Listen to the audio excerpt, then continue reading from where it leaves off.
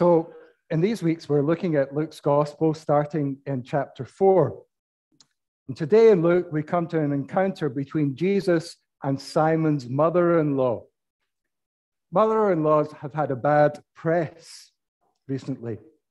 The comedian Les Dawson made a career out of making jokes about his mother in law, like this one. I just got back from a pleasure trip.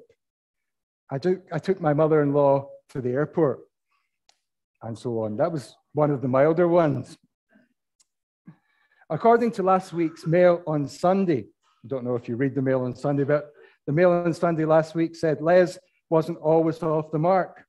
Researchers in America believe people may be unconsciously biased in favor of their own mothers due to a genetic conflict that makes them act unconsciously in the interests of their own kin.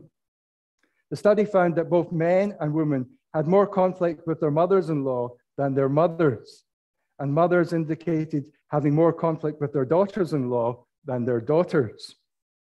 They found the most common reason for a row with a mother in law was about criticism about money or the way that the grandchildren were being brought up. If you have echoes of these things. For me, however, my late mother in law was an inspirational Christian woman. Not only was she a mother of eight, eight, I married into a big family, but a woman who, even with that considerable demand, offered hospitality to people who were sometimes left out, to outsiders, and she would bring them into the home and, and bring to them Christian care.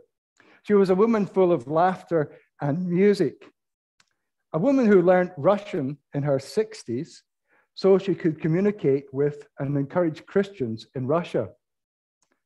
And in the process, she converted her Russian teacher, who was quite an important academic when she was in Russia, uh, Natasha, and um, she's in her late 90s now, but she became part of our family because she was converted um, in teaching Russian to my mother in law. So, my mother in law was not a pain, but an inspiration. And it seems that Simon Peter's mother in law may well have been an inspiration for his discipleship to Jesus.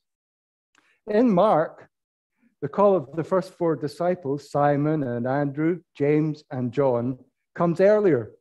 So that Jesus going to the disciples' house and performing a healing is at the request of his new disciples.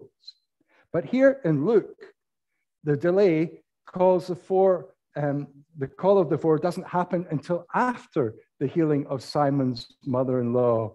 And so it seems that the effect of the miracle had something deep in Simon Peter's life. And maybe it was that that made him follow Jesus. He grants to Jesus hospitality. And when we welcome Jesus into our homes, amazing things happen. And this is what the story tells us. Here in Luke, Jesus, rather than taking Simon's mother in law by the hand, stands over her, and in echoes of the earlier exorcism, the fever, we're told the fever holds her, and Jesus rebukes the fever, just as he rebuked the demon in the man in the synagogue.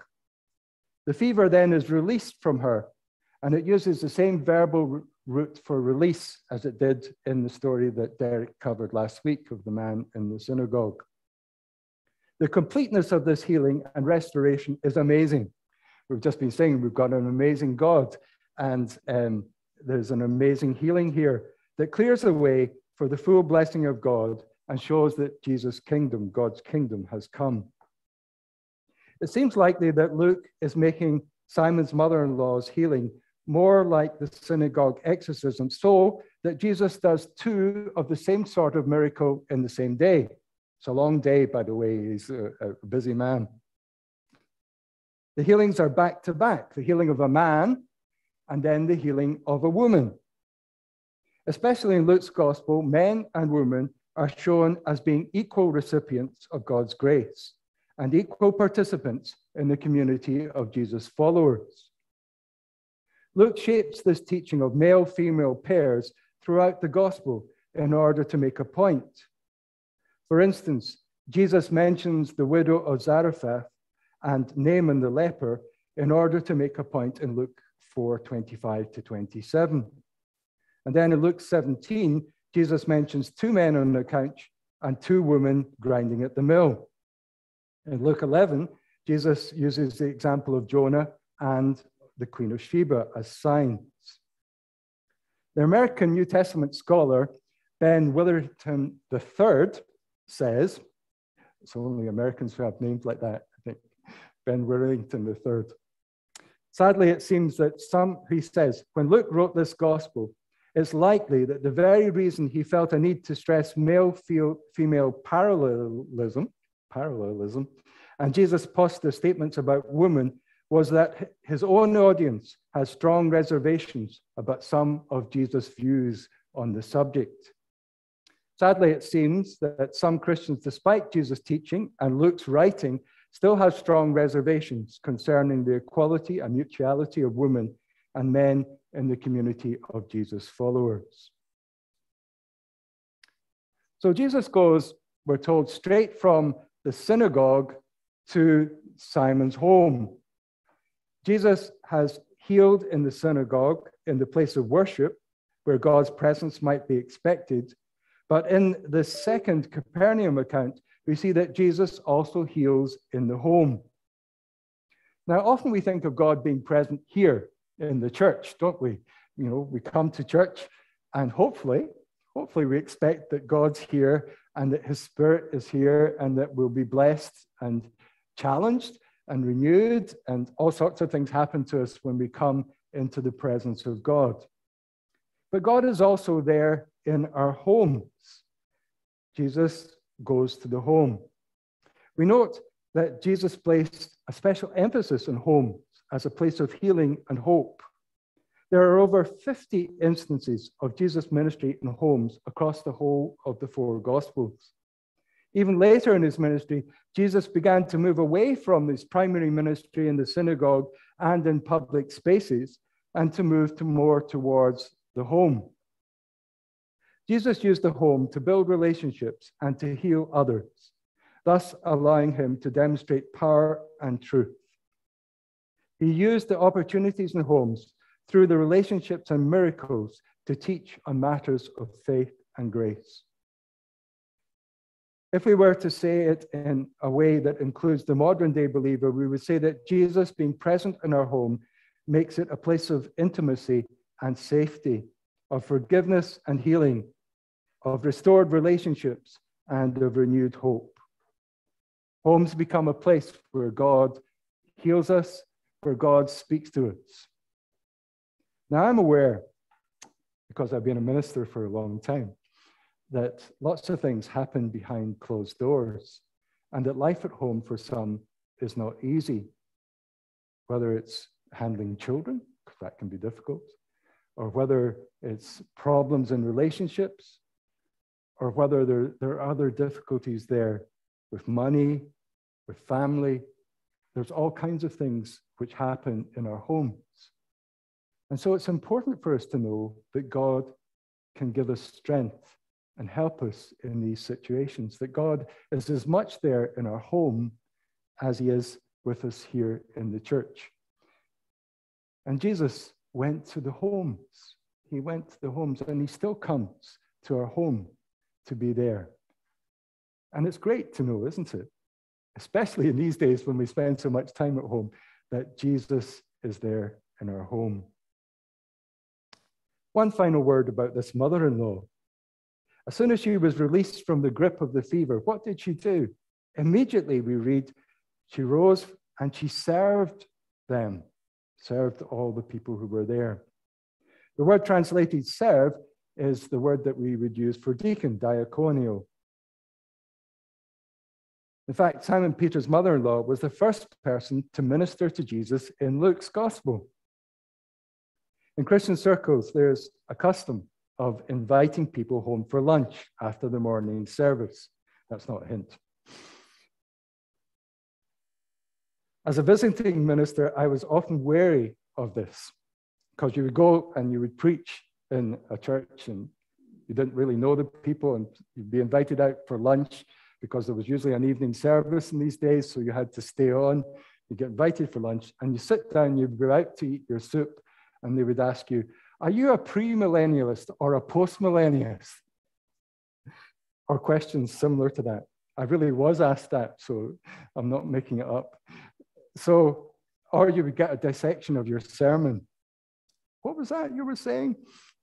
And you'd have to defend yourself or whatever. I remember as a young person, I'd often go to the brethren for their evening service because you'd get invited out afterwards and you got the best sandwiches and cakes if you went to a brethren church. Anybody done that? It's true, isn't it? They had marvelous suppers. However, in Jesus' time, it was not the custom to invite people home on, your, on the Sabbath. And all food had to be prepared the day before. It wasn't prepared on the day. So this um, there's a bit of rule breaking going on here in this story. It's actually slightly more shocking than it would appear as we just come to it at the start. The rules are broken because Simon's mother in law just wants to express her gratitude right away, and suddenly she's got all these people in the home. And what does she do? Such is her indebtedness to Jesus that she responds to Jesus with gratitude and service. Gratitude and service seem to me to be the identifying characteristics of those of us who've had an encounter with Jesus. If we meet with Jesus and we find all the things that Jesus can do in our lives his forgiveness, his restoring, his healing, the life that he gives us, the purpose which he sets before us all of these things should be met with gratitude and thankfulness. And when we develop a, an attitude of gratitude, like that, an attitude of gratitude in our lives, when we develop a thankfulness in all that we're doing, it gives us a strength. Gives us a strength through the hard times, the difficult times, the bad times, if we're thankful for what God has given us and what God has done. So when we meet these difficult times, and we always will, we've got that strength of being thankful and grateful. And so Simon's mother in law responds with this thankfulness. For the rest of what was another long day in the life of Jesus, we're told that even as evening was coming, he was still healing people in Capernaum. Jesus healed people, and he brought about exorcisms from the demons, and they were confessing him as the Messiah. And he told them to be quiet. Luke shows Jesus being cautious here and responsible because if he claimed to be a Messiah at this stage in his ministry, he would be put to death. And so he wouldn't be able to develop his disciples and do the things which he needed to do. Because we learn from his life as well as from his death and from his resurrection. And all these three we hold together. And so, from synagogue to home, from man to woman, the amazing power of Jesus meets with us where we are and who we are. And we are called to reciprocate with gratitude and with service. So, see what you can be thankful for this week. It's good to think what can I be thankful for in my life this week? There's a target for you. Just what can you give thanks for? Maybe it's a little bird up in a tree that you spot. I like the bullfinches, which you saw this week. There are all kinds of things that we can be thankful for. Maybe it's because you're loved and cared for in your family. Or maybe, I don't know, there's lots of things. I like food. There's all kinds of things, and coffee. But we can be thankful for the small things or the big things. But to develop that attitude of thankfulness gives us the strength we need in times of trouble.